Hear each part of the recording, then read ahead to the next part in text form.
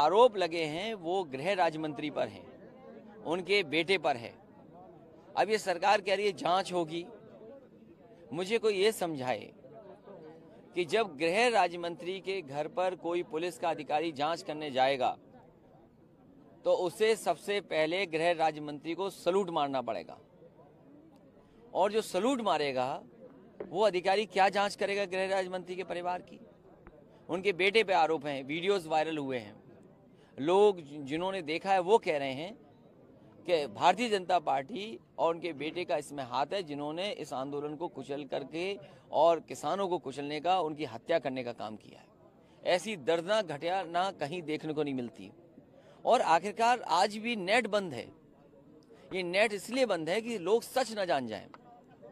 जब नेट चालू होगा तो लोगों के पास जो रिकॉर्डेड हैं चीज़ें वो कहीं ना कहीं एक दूसरे को भेजेंगे शेयर करेंगे।